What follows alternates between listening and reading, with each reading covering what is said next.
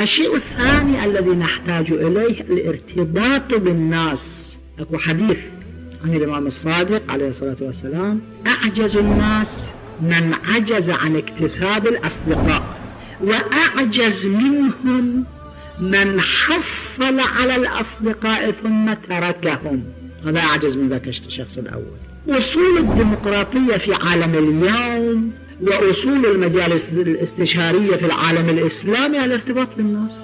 بقدر ارتباطك بالناس أنت ناجح وبقدر عدم ارتباطك بالناس أنت فاشل.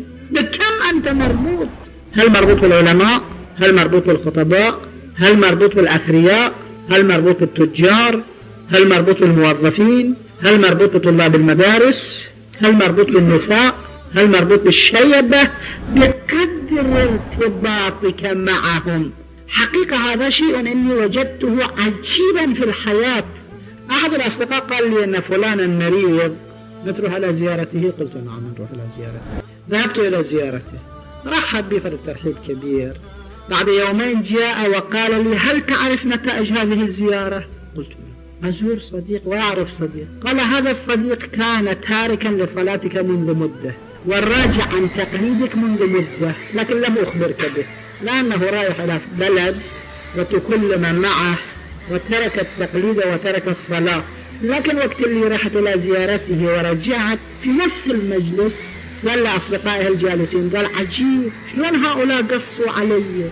نحن بحاجة إلى كثرة الارتباط بالاجتماع. أنت مرتبط بالاجتماع؟ ارتبط به أكثر. أنت غير مرتبط بالاجتماع ارتبط بالاجتماع أكثر. البلاد الغربية لماذا هم سادة؟ قلنا لأنه كفاءات. الكفاءات من أين جاءت؟ من الديمقراطية الارتباط بالناس. الارتباط بالناس. الأخ الليلة البارحة ينقل لي أن كارتر في التلفزيون فتاة صغيرة في حشد كبير من الناس قالت له لي عندك سؤالان. قال تفضلي. السؤال الأول قال لماذا أنتم تذلون أنور السادات فتاة تسأل من كارتر برا التلفزيون وهو مجبور يجاوب. لأن ديمقراطية في بلادهم. يعني ارتباط بالناس في بلادهم. الارتباط بالناس أظهرت الكفاءات. الكفاءات سيطرت على العالم.